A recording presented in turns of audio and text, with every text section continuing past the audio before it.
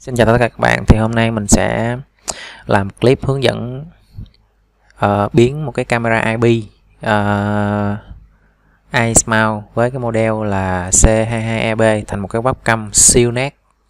Với uh, thì cái cái camera này nó mang cái độ phân giải là 2.0 megapixel và rất là xịn sò khi mà biến cái cái cái hình ảnh của cái camera IP này thành một cái webcam để mình phục vụ cho việc học tập và giảng dạy. Ngoài ra thì cái cam, cái camera này mình sẽ làm luôn cái chức năng đó là giám sát.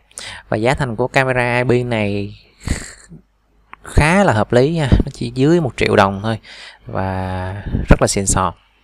Thì cũng khá là đơn giản. Thì các bạn muốn biến cái camera IP này thành một cái webcam á, thì ờ, các bạn chỉ cần chuẩn bị uh, cho mình một cái phần mềm. Uh, thứ nhất là SVSCam SVSCam phần mềm SVSCam như thế này. Thì phần mềm này nó có tác dụng gọi là chuyển cái luồng dữ liệu hình ảnh thành luồng dữ liệu của webcam. Và thứ hai là phần mềm zoom à, hiện tại là các học sinh à, sử dụng phần mềm này rất là nhiều. Thì hai cái phần mềm này cài cũng khá là dễ các bạn có thể tìm hiểu trên google. Và thứ ba là các bạn chuẩn bị cho mình một cái cú pháp như thế này. Cái cú pháp này thì nó đơn giản là một cái luồng dữ liệu thôi. Luồng dữ liệu st à, ờ, rtsb thì ở đây cái cú pháp nó có chữ admin này đó là cái user của cái camera IP này. Thứ hai là password của camera IP này. Thì khi mà các bạn muốn kết nối cái camera IP này thành một cái webcam trên cái máy của bạn thì khi các bạn mua về thì các bạn nên cấu hình cái camera IP này ra ngoài mạng. Có nghĩa là các bạn cấu hình setup nó uh, các bạn đặt user và password của nó như thế này và các bạn lấy địa chỉ IP của nó. Và mặc định cái cổng 5540 này là cái cổng bọt của cái phần mềm Cam này. Và nguyên cái cấu pháp của nó là như thế này. Còn nếu như các bạn muốn tìm hiểu về cái setup của cái camera IP này thì các bạn có thể click vào kiểm tra vào cái đường link bên dưới thì nó sẽ có một cái bài hướng dẫn về cái cách setup uh, camera IP tại iMount ok, thì việc đầu tiên, chúng ta cần chạy phần mềm này lên. Ok, chạy phần mềm lên. Các bạn click vào dấu cộng này nè. Chọn vào mục IP camera.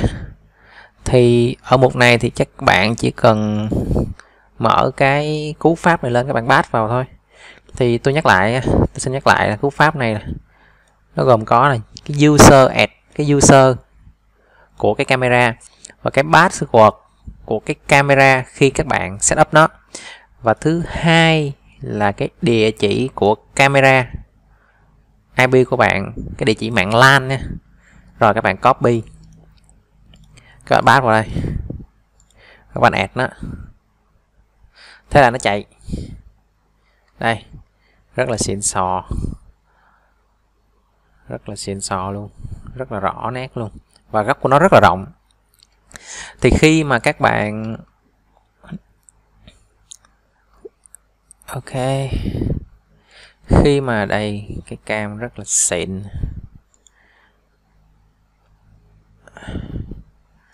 Đó thì khi mà các bạn đã chạy phần mềm này rồi và add được cái con camera rồi, rồi thì các bạn giữ nguyên cái phần mềm như thế này. Và các bạn để chạy cho nó cho nó cứ chạy nền thôi. Rồi các bạn khi này các bạn mở phần mềm zoom lên các bạn singing